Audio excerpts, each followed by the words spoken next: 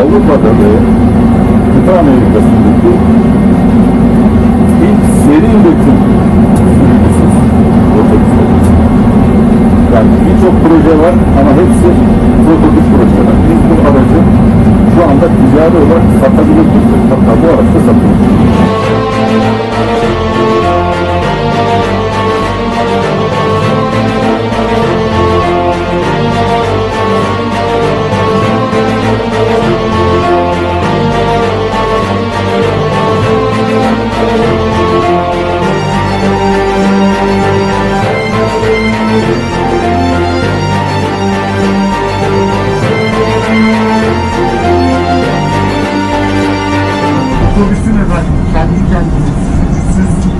Ve yazılımını bu arkadaşlar.